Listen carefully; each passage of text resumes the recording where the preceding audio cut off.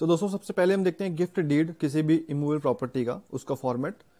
तो सबसे पहले टॉप पे उसका लिखा जाएगा गिफ्ट डीड और this gift deed is executed at new Delhi on this the dash day of dash यानी कि ये गिफ्ट डीड एग्जीक्यूट की जा रही है न्यू दिल्ली में, या कोई भी आप जो भी स्टेट जहाँ भी कर रहे हैं, उसको वहाँ पे लिख के। On this the dash day of dash यानी जिस दिन हम गिफ्ट डीड एग्जीक्यूट करेंगे, वो डेट लिखी जाएगी। उसके बाद by and between Shri dash, son of dash, resident of dash, यानी सबसे पहले हम डोनर का नाम लिखेंगे, and which expression shall unless repugnant to the context or meaning thereof be deemed to include his heirs LRs executors, and successors. यानी कि जो भी डोनर्स के लीगल एयर्स हैं लीगल रिप्रेजेंटेटिव्स हैं एग्जीक्यूटर सक्सेसर्स वो सब इसमें इंक्लूड हैं, ताकि इसको एग्जीक्यूट होने के बाद अगर कोई डोनर का लीगल एयर या कोई क्लेम करता है तो उस क्लॉज को सेव करने के लिए ये क्लॉज ऐड किया जाता है। उसके बाद इन फेवर ऑफ़ यानी कि जिसके फेवर में गिफ्ट डीड एग्जीक्यूट कर रहे हैं हम जिसको गिफ्ट दे रहे हैं तो उसका नाम लिखा जाएगा इन फेवर ऑफ़ जो भी है, Shrimati dash son of dash resident of dash तो उसके बाद donor and the donee are hereinafter individually refer to as the party and collectively as the parties in this deed इसका जनरली मतलब यही है कि इंडिविजुअली हम डोनर एंड डोनी दोनों को रेफर करेंगे एज एन पार्टी और दोनों को जहाँ पार्टीज़ लिखा होगा तो वहाँ दोनों को सेम मीनिंग समझा जाएगा। उसके बाद रिसाइटल्स पे आते हैं, जिसको हम वेयर एज से स्टार्ट करते हैं। तो वेयर एज तो हमारा फ़र्स्ट पॉइंट है द डोनर इज़ द तो यहाँ पे हम एक प्रॉपर्टी के रिगार्डिंग हमने एक फॉर्मेट बनाया हुआ है। तो सबसे पहले क्लॉज है the donor is the absolute owner and is in position of the house situated as dash having boundary description as under यानी कि जो डोनर है, वो एब्सोल्यूट ओनर है और पोजिशन है। पोजिशन है, में है इस हाउस के जो कि डिटेल्स भी ब्लैंक है. Having boundary description as under यानी कि उसके साथ में ईस्ट वेस्ट नॉर्थ साउथ में जो भी बाउंड्रीज लग रही हैं, उसको मेंशन कर देंगे और ब्लैंक में प्रॉपर्टी का डिस्क्रिप्शन आ जाएगा कि जो भी प्रॉपर्टी ट्रांसफ़र की जा रही है. उसी के सेकंड में the donor and the donee are both related to each other as father and daughter यानी कि यहाँ पे हमने फादर एंड डॉटर का केस लिया है. यहाँ पे आप मतलब जो भी डोनर एंड डोनी का रिलेशन है आपस में, वो लिखा जाएगा. उसके बाद उसके बाद सी पॉइंट है that out of natural love and affection of the donor for the donee the donor is desirous of conveying the said property as gift to the donee यानी कि डोनर का डोनी के प्रति out of natural love and affection में the donor जो है, वो अपनी सेट प्रॉपर्टी को जो भी ऊपर है, वो कन्वे कर रहा है या उसको कन्वे करना चाहता है by way of gift to the donee D point that the donee has been taking care of the donor in his old age यानी कि ये एक तरह का रीजन लिखा गया है कि जो डोनी है, वो डोनर की केयर कर रहा है ओल्ड एज में, जिस वजह से वो गिफ्ट जो है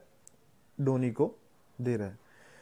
ई पॉइंट है that the donor is also living with the donors family यानी कि जो डोनर है, वो डोनर्स की फैमिली के साथ ही रहते हैं। And that the donor is of sound mind and is not under intoxication undue influence और coercion while making this gift deed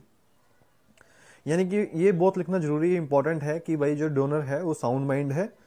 and is not under any intoxication कोई नशा नहीं किया हुआ है, कोई प्रेशर नहीं है, कोई दबाव में नहीं एग्जीक्यूट कर रहे हैं इस गिफ्ट डीड को। तो ये सब लिखने के बाद लास्ट में लिखा जाएगा कि accordingly the parties are desirous of recording the terms of the gift by way of the present deed. यानी कि जो पार्टीज़ हैं डोनर एंड डोनी वो मतलब जो टर्म्स हैं उनको रिकॉर्डिंग करना चाहते हैं लिखवाना चाहते हैं by way of the present deed इसके बाद कंडीशंस क्लॉज हो जाते हैं। ऊपर तो रिसाइटल्स हमने मेंशन कर दिए। उसके बाद जो जो भी कंडीशंस हैं तो हमारा फ़र्स्ट पॉइंट है in consideration of the natural love and affection of the donor for the donee The donor hereby transfer to the donee's said property, estimated value of which is rupees dash to the donee to hold the same to the donee absolutely forever. यानी कि जो भी donor है, donee को natural love and affection में transfer कर रहे हैं डोनी को प्रॉपर्टी जिसकी एस्टिमेटेड वैल्यू इतनी है हमेशा के लिए।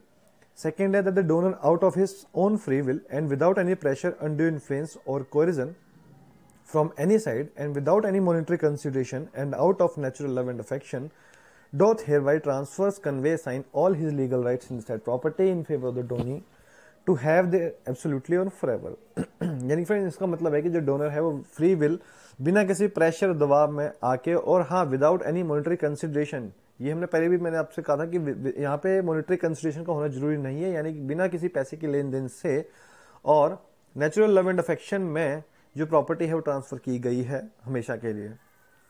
थर्ड पॉइंट है donor assures the donee that the above said property gifted by the donor herein are free from all encumbrances of any nature what's यानी कि जो डोनर ने डोनी को जो प्रॉपर्टी गिफ्ट की हुई है उसमें किसी तरह का कोई भी आ, कोई भी इनकम्बरेंस नहीं है यानी कि उस पर कोई लोन मोटगेज या कोई भी डिस्प्यूट नहीं है उस प्रॉपर्टी के रिगार्डिंग फोर्थ पॉइंट है donee has accepted this gift and has taken the physical possession of the said property यानी कि डोनी ने गिफ्ट को एक्सेप्टेड कर चुका है और उसका फ़िज़िकल पोसेशन यानी कि उसका कब्जा भी ले लिया है सेट प्रॉपर्टी का जो कि इस गिफ्ट में डोनी को दी जा रही है। फिफ्थ पॉइंट है that all the expenses towards stamp duty as may levied on this deed if any shall be borne and paid by the donee alone यानी कि जो भी इसमें एक्सपेंसेस आएँगे स्टैंप ड्यूटी के रिगार्डिंग इस डीड को रजिस्टर कराने में तो वो सब पे किया जाएगा डोनी के द्वारा। फिर लास्ट में स्टैंडर्ड क्लोज है कि यहाँ पे दोनों डोनर और डोनी की जगह साइन किए जाएँगे। साथ में डेट और प्लेस मेंशन होगा कि जिस डेट को एग्जीक्यूट की जा रही है और कहाँ पे की जा रही है, साथ में दो विटनेसेस के सिग्नेचर हो जाएँगे। तो ये तो थी हमारी gift deed of immovable property यानी कि किसी प्रॉपर्टी के रिगार्डिंग